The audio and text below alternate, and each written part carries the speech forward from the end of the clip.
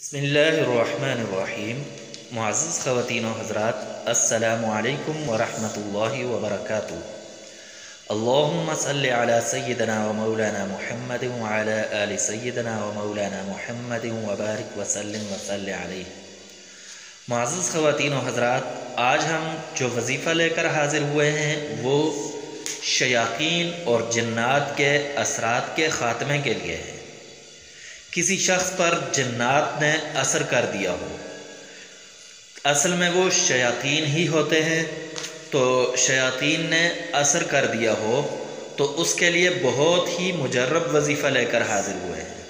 ये वजीफ़ा करें इन उस शख्स से असरात ख़त्म हो जाएँगे।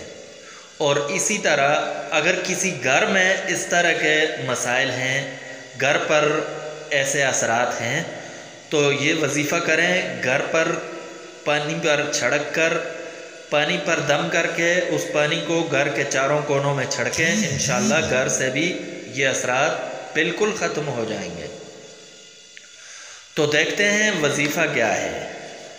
तो वजीफ़ा कुछ इस तरह है कि आपने जिस शख्स के ये मसाइल हों, जिस शख्स के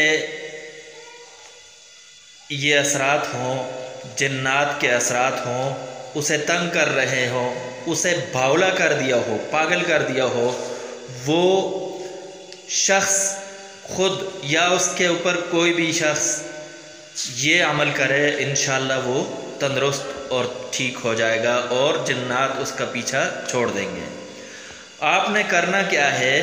करना ये है कि उसके दाएँ कान के अंदर आपने अजान कहनी है सात मरतबा।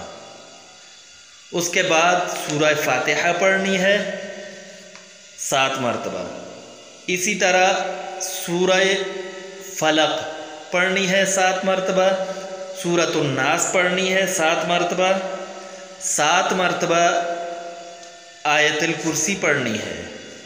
और इसी तरह सूरत तारिक ये भी सात मरतबा पढ़नी है। और सूरतुल हशर की आखिरी तीन आयात, ये भी सात मरतबा पढ़ें उसके कान में।